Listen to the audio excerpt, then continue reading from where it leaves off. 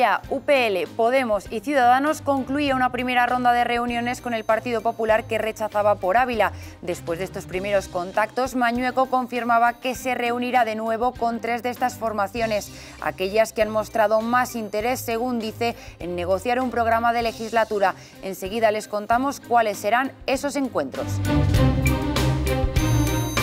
A falta de menos de una semana para la constitución de la Cámara, ya se perfilan los detalles de esta sesión. Tal y como marca el reglamento, será presidida por la procuradora electa de mayor edad y ayudada en condición de secretarios por los dos procuradores más jóvenes. Hemos estado con ellos para conocer qué sensaciones tienen a pocos días del inicio de la legislatura. Espero sinceramente que sea una legislatura, eh, una legislatura estable y tranquila. Una legislatura de políticos adultos que se sienten a negociar, que lleguen a pactos. Esta semana también se ha firmado un convenio de colaboración, en este caso entre el CES, el Consejo Económico y Social, y el CSIC, el Consejo Superior de Investigaciones Científicas. El objetivo es que el conocimiento obtenido en las investigaciones repercuta en la economía de nuestra comunidad.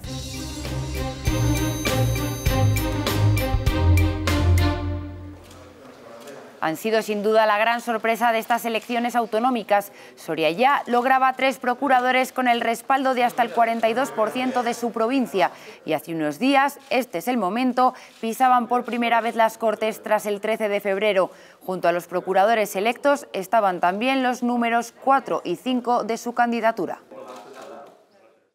¿Qué tal? ¿Cómo están? Bienvenidos a nuestras Cortes. Unos instantes después de ese momento, Soria ya se reunía con el Partido Popular, un encuentro que duraba más de lo esperado y en el que se acordaba la creación de un grupo de trabajo para estudiar las posibilidades de llegar a un acuerdo. Si finalmente hay ese consenso, la plataforma soriana apoyará a Alfonso Fernández Mañueco, pero solo si su gobierno es en solitario.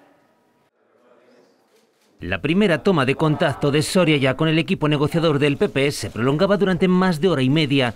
Tras este largo encuentro en las Cortes, ambas partes hablaban de buenas sensaciones. Nos sentimos pues moderadamente satisfechos. Hemos constatado una clara disposición al diálogo. Según Alfonso Fernández Mañueco, muchas de las peticiones realizadas por la plataforma soriana ya estaban recogidas en el programa de los populares.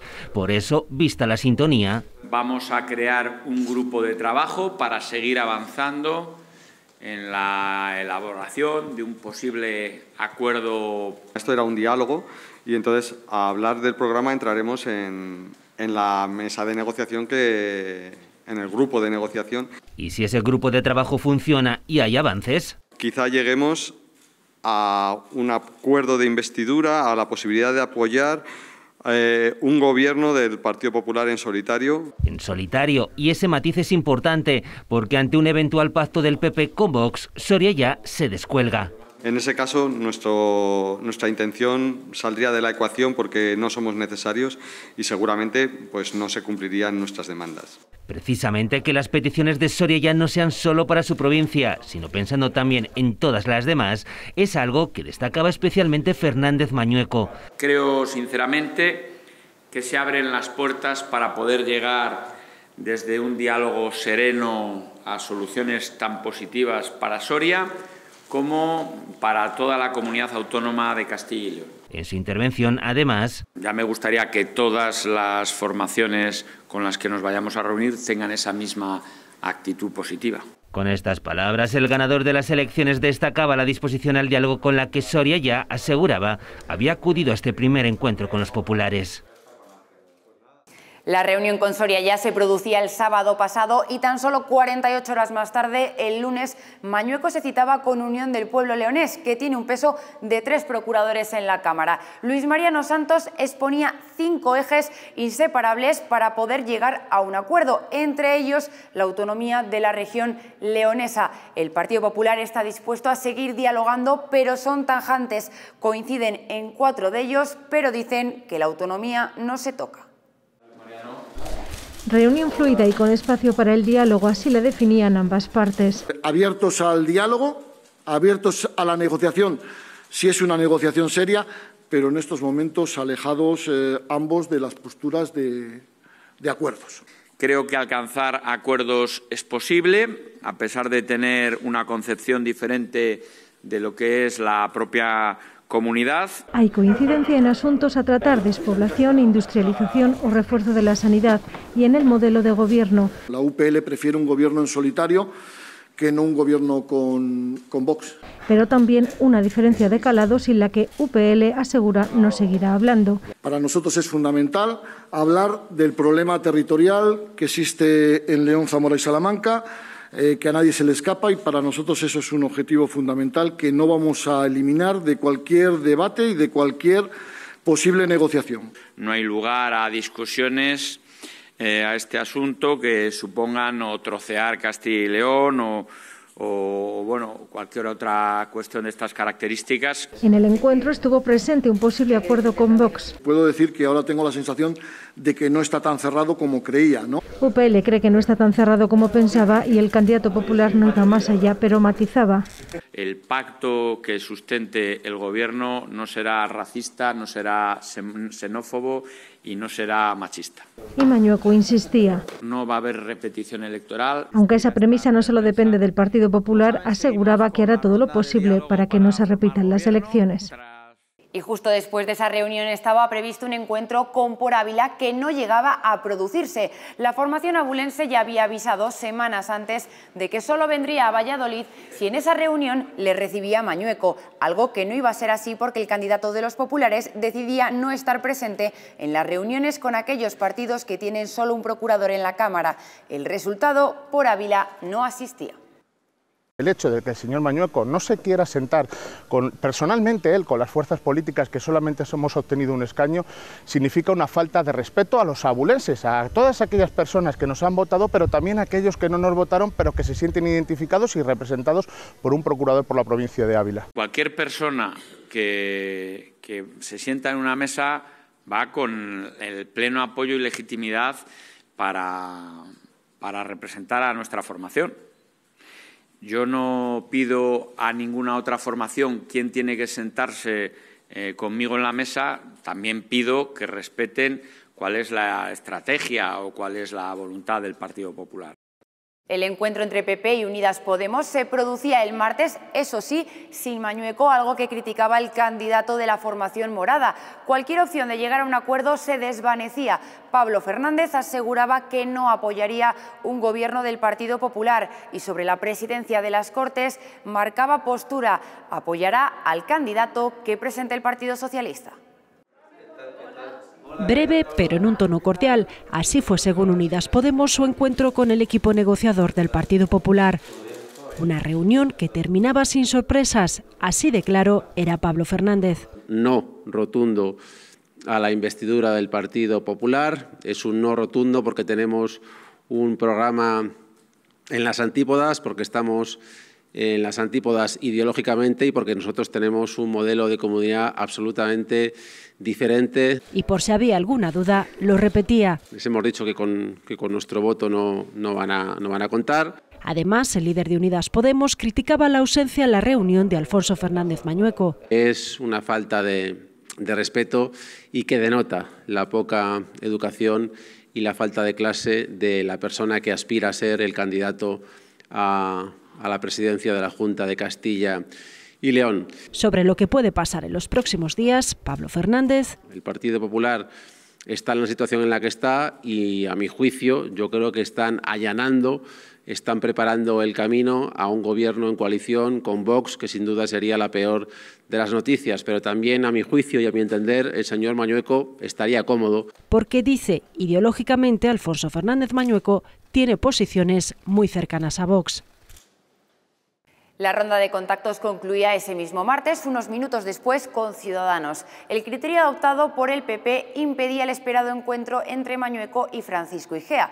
El candidato de Ciudadanos asistía a la reunión con la exconsejera de Sanidad, Verónica Casado. Se reunían con el equipo del PP sin alcanzar ningún acuerdo aparente. Ciudadanos pide al Partido Popular que se vuelva a sentar a negociar con el Partido Socialista. Tienen que buscar un acuerdo lo más amplio posible y tienen que buscar un acuerdo mayoritario y que nuestra propuesta sigue siendo que se vuelvan a sentar con el Partido Socialista a hablar. Es, según Francisco Igea, la opción que garantizaría más estabilidad en la comunidad en estos momentos, cuando más se necesita, porque la guerra en Ucrania afectará a la economía española y de Castilla y León. Lo que está ocurriendo en estos momentos en Europa va a suponer un impacto económico muy severo para la comunidad, no solamente la inflación, sino problemas en sectores esenciales de nuestra comunidad, como el agroindustrial, como el automóvil. Y en esa situación no se pueden tener gobiernos inestables, no se pueden tener gobiernos que no sean capaces de afrontar decisiones difíciles. Le pide a Alfonso Fernández Mañueco que no se pelee con la aritmética, porque no le dan los números para un gobierno en solitario. No es posible eh, tener, pedir un gobierno en minoría cuando uno tiene 31 escaños. Es que esto simplemente no es posible. El PP ha tenido los peores resultados del Partido Popular en la historia de las elecciones autonómicas. Y advierte que no le dará su apoyo si no admite que mintió. Si no sale públicamente a decir que aquello sobre lo que ha hecho la convocatoria es una falsedad. Si no, no le votaré. Sobre la ausencia en la reunión del presidente en funciones, dice que no le extraña porque es difícil, según él, mirarse a la cara después de algunos comportamientos. Concluida la ronda de reuniones, Mañueco exponía los pasos a seguir. Se reunirá de nuevo con tres formaciones, con Soria Ya, con Unión del Pueblo Leones y con Vox. Ha elegido a estas porque dice que son los que más interés han mostrado en seguir negociando un programa de legislatura y además acusaba a los demás de autoexcluirse. Concluida la primera ronda de contactos con todos los partidos y tras hacer balance, Alfonso Fernández Mañueco insistía. Lo que yo prefiero es un gobierno en solitario, pero que sea fuerte y que sea estable. Mantiene su objetivo, aunque matiza en estos momentos. Lo importante es hablar de programa y llegar a un acuerdo sobre el programa. Y el resto ya se verá en los próximos días. No estamos en la fase ni de hablar de sillones ni de hablar de cargos. Ahora el siguiente paso de los populares será reunirse de nuevo con los partidos, pero no con todos.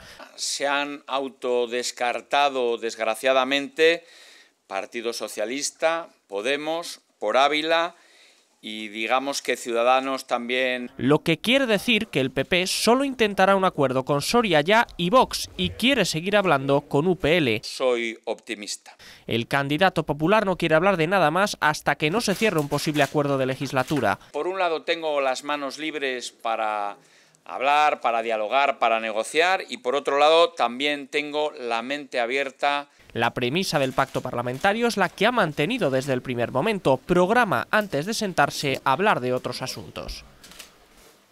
El presidente de las Cortes pedía respeto hacia todos los partidos elegidos en democracia en las urnas y la no exclusión de ninguno de ellos. Y en su solicitud ponía este ejemplo. La democracia es sagrada y si empezamos a excluir eh, partidos que eh, en la democracia eh, no, no, no, comulgan con nuestras ideas, pues a lo mejor también tendríamos que excluir a Podemos, que ahora mismo está defendiendo otra opción imperialista, en el sentido de que no están permitiendo que nuestro gobierno apoye de la forma adecuada a los que han sido invadidos por el imperialismo ruso. Entre negociación y negociación, lo que es fijo es que el próximo 10 de marzo se elegirá al nuevo presidente de las Cortes. Será el día en el que se constituirá la Cámara, haya o no un acuerdo de gobierno. Estas son las reglas de la votación y las opciones con las que cuentan cada una de las formaciones políticas. En primera votación se necesita mayoría absoluta. Todos los partidos pueden presentar candidatura, aunque la previsión es que lo hagan los tres con más peso en la Cámara, PP, PSOE y Vox. Si ninguno logra esa mayoría absoluta de 41 votos, los dos más apoyados se enfrentan en una segunda votación, donde les basta con mayoría simple. ¿Qué pasará aquí? Es una incógnita porque depende de qué hagan también los partidos minoritarios. Lo más probable es que se dispute entre el candidato del PP y el del PSOE. Este último ya cuenta con 29 apoyos después de que Podemos lo haya confirmado. Nosotros votaríamos al candidato o a la candidata del Partido Socialista. UPL dice que aunque no lo tienen decidido, suelen optar por no apoyar a ninguno de los candidatos y Ciudadanos. Haremos lo mejor para la comunidad y, en su defecto, lo menos malo. Sería un poco curioso ver a un candidato de Vox en la Fundación Castilla y León. ¿eh? Bueno, todo podría ser más raro. si esto es así, nosotros no descartamos proponer a Luis Mariano como presidente de las Cortes. Si Vox no apoyara a ninguno, al Popular le basta con el apoyo de tres procuradores más, por ejemplo los de Soria Ya, para como poco lograr un empate que en caso de persistir le daría la presidencia aunque la situación actual muestra que de momento no hay un acuerdo en marcha. Soria ya confirmaba a mitad de la semana que no tenían nada decidido y que nadie les había llamado para ofrecer nada, mientras Mañueco aseguraba esto. Presentaremos nuestro candidato, lógicamente, candidato o candidata. A este anuncio reaccionaba Vox en redes sociales. Pedía una rectificación si Mañueco quiere seguir negociando un gobierno con ellos. El PP presentará candidato o candidata a la presidencia de las Cortes y también lo hará el PSOE. Así lo confirmaba Luis Tudanca a la salida de esta reunión con Soria Ya, un encuentro cordial que duró poco más de una hora en el que ambos partidos tuvieron una primera toma de contacto. El PSOE no pidió el apoyo de los tres procuradores de Soria Ya, pero sí ambos coincidieron en no apoyar un posible gobierno de coalición entre PP y Vox. Soria Ya también se quejó de las críticas que miembros del PSOE están lanzando contra ellos. Nos han trasladado que en, ningún momento, de ninguna manera, pactarán nada en relación con el gobierno de Castilla y León si en ese acuerdo, en ese gobierno, en esas políticas tiene influencia o capacidad de decisión la extrema derecha. Si vos se abstiene y esa abstención no contiene nada, pues ¿por qué no vamos a sumar con el Partido Popular? Las reivindicaciones de Soria ya eh, no las puede satisfacer ningún equipo que no esté en el gobierno. En la oposición no se va a construir más rápido el hospital ni se va a traer la radioterapia. Vox también presentará candidatura a la presidencia de las Cortes, aunque no ha confirmado su nombre aún. Este viernes todos los procuradores de Vox se reunían en el Parlamento donde registraron sus credenciales. El candidato Juan García Gallardo insiste al PP que no cederán en sus pretensiones de entrar en el gobierno. Nosotros seguimos con la mano tendida al Partido Popular para poder sentarnos a negociar, pero a negociarlo todo, no solo el programa, también, por supuesto, la composición de la mesa y la composición de un eventual gobierno. Confiamos en que entiendan que nosotros vamos a mantener nuestra línea. No queremos ni más ni menos que lo que tuvieron otros grupos parlamentarios en circunstancias similares y lo vamos a defender en una negociación hasta el final. Entre negociación y negociación, lo que es fijo es que el próximo 10 de marzo se elegirá al nuevo presidente de las Cortes. Será el día en el que se constituirá la Cámara, haya o no un acuerdo de gobierno. Estas son las reglas de la votación y las opciones con las que cuentan cada una de las formaciones políticas. La sesión estará presidida por la procuradora electa de mayor edad con la ayuda de dos secretarios que corresponderán a los dos procuradores más jóvenes. Esa es la conocida como mesa de edad. Así lo establece el reglamento. Ellos serán los encargados de dirigir una sesión de constitución que ya se prepara en las Cortes y en la que primero se elegirá al presidente. Luego, sucesivamente, se hace en la sesión constitutiva la elección de los vicepresidentes de la, de la Cámara, que se eligen los dos al mismo tiempo y resultan elegidos los dos que consigan el mayor número de votos y eh, en, una en una tercera votación se eligen a los tres secretarios. En total se designan seis miembros de la mesa a través del método tradicional. La votación es eh, por papeletas y secretas secreta y los procuradores eh, ponen un nombre de, de, un procurador. La urna que se usa tiene historia en este Parlamento. Ha visto pasar por aquí a centenares de procuradores. Desde el Castillo de Fuensaldaña lleva esa urna con nosotros o con el cuerpo de Ujieres, eh, tanto para las votaciones que se producen el día, el día 10, la sesión constitutiva, como para cualquier votación que considere eh, presidente la mesa o los letrados que deba hacerse. Después los procuradores electos jurarán su cargo y tomarán posesión en un acto donde se les entrega una medalla a modo de insignia. En el año 2011 se estrenó una nueva medalla cambiando el diseño porque eh, bueno, pues, eh, se hizo una medalla más eh, de corpus legislativo, más de parlamento, más parlamentaria, al estilo del Congreso, del Senado, y es un óvalo que recoge en sus cuatro cuarteles pues, pues los, los símbolos de la comunidad. La medalla les acredita en su condición de procuradores y suele ser utilizada y portada en días especiales, como en la celebración del Estatuto de Autonomía. Es complicado. Noemí Rojo y Miguel Suárez son los dos procuradores más jóvenes de esta undécima legislatura y por lo tanto ejercerán de secretarios de la mesa de edad. Es una gran responsabilidad, pero y me hace la misma ilusión y es la misma responsabilidad que ser procuradora en sí. Lo que se siente participando en la mesa de edad, pero sobre todo, sobre todo formando parte de esta onceava legislatura, es una enorme responsabilidad. Noemí pertenece a las filas del Partido Popular y aunque con 29 años casi recién cumplidos es la más pequeña de la Cámara ya que nació en enero de 1993, ya tiene experiencia en el Parlamento. También estuvo la pasada legislatura, tomó posesión tres meses después, por lo que participar en la mesa de edad es nuevo para ella. Espero y haré, porque sea un día muy tranquilo, eh, un día en el que, en el que todos estemos eh, a gusto en, el, en, el, hemiciclo y un día eh, que sea pues, un día bonito para, para, recordar para Castilla y León. Miguel Suárez, por su parte, se estrena en las Cortes en las filas de Vox. Originario de Asturias, desde los ocho años vive en El Bierzo, de donde se siente. Trabaja en una empresa familiar de biología molecular y se ha dedicado fundamentalmente a la hostelería como cocinero y como docente en el mundo de la cocina. También con 29 años, es el segundo procurador más joven. Nació en diciembre de 1992. Yo creo que no es un hándicap. Yo creo que el ser uno de los más jóvenes de la Cámara es un orgullo, obviamente, porque al final representamos a una generación diferente que ya entra de lleno en la situación política de nuestra tierra. Desde luego es una oportunidad que se me ha dado eh, para representar un poco a los, a los jóvenes de nuestra, de nuestra comunidad, así que yo estoy, la verdad es que estoy encantada. Ambos están relacionados con el Bierzo. Miguel mantiene su residencia allí. Noemí nació en Ponferrada y vivió en el Bierzo hasta los 19 años. Es una ilusión que seamos seamos dos bercianos los que estemos en esa mesa de edad. Otro aspecto en lo que coinciden es en sus deseos para esta legislatura. Espero sinceramente que sea una legislatura, eh, una legislatura estable y tranquila, que es lo que necesitamos en, en, Castilla.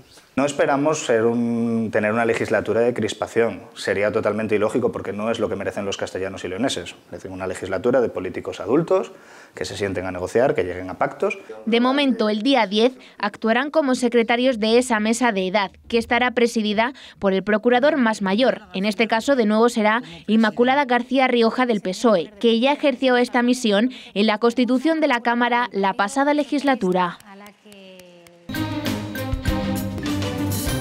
Luis Fuentes asistía a uno de sus últimos actos como presidente de las Cortes, a unas jornadas de parlamentarismo celebradas en la ciudad de Salamanca. En ellas se habló de cómo se han utilizado las tecnologías y la información a lo largo de la historia en el ámbito político. En ellas estuvo el presidente de Castilla-La Mancha, que ensalzaba la labor de las Cortes de Castilla y León en esta pasada legislatura al frente del Grupo de Lucha contra la Despoblación en el ámbito europeo. Siempre tenemos exactamente lo mismo. Eh, eh, las eh, innovaciones tecnológicas se aprovechan para bien, pero también se, aprovechan para mal, sobre todo por parte de aquellos que quieren tergiversar la verdad. Y creo que hoy es, es, un día importante para que veamos cómo en aquel momento la imprenta dio esa, esa posibilidad de eh, trasladarle a la ciudadanía eh, lo que cada uno de, las, eh, de, los, de los dos bandos quería. Todos hemos podido disfrutar de un presidente que nos ha ayudado en todo, que ha sido facilitador que además ha liderado un grupo de despoblación a nivel de Unión Europea, lo cual es muy importante porque este es un asunto que compartimos, una preocupación que compartimos los dos territorios, las dos Castillas. El Consejo Económico y Social y el Consejo Superior de Investigaciones Científicas trabajarán de forma conjunta. Ambas instituciones han firmado un convenio y colaborarán para captar, retener talento y contribuir a que el conocimiento que resulta de las investigaciones que el CSIC lleva a cabo repercuta en la economía de nuestra comunidad. Nos parece que en lo que tenemos que seguir avanzando es en la transferencia de ese conocimiento al sector económico productivo, a la creación de empleo estable y de calidad, a la mejor prestación de los servicios públicos, de los servicios sociales. Es fundamental que haya eh, un diálogo abierto entre eh, investigación, laboratorios, las partes tecnológicas, los servicios científico-técnicos, etcétera, etcétera, y el mundo, eh, el mundo económico. Es, es fundamental para que haya un avance eh, que esté apoyado en la investigación que se hace en Castilla y León. Y hasta aquí la actualidad política de esta semana. La próxima les esperamos con el arranque de la nueva legislatura y les contaremos quién es el nuevo presidente de la Cámara. Les esperamos, como siempre, en nuestras Cortes.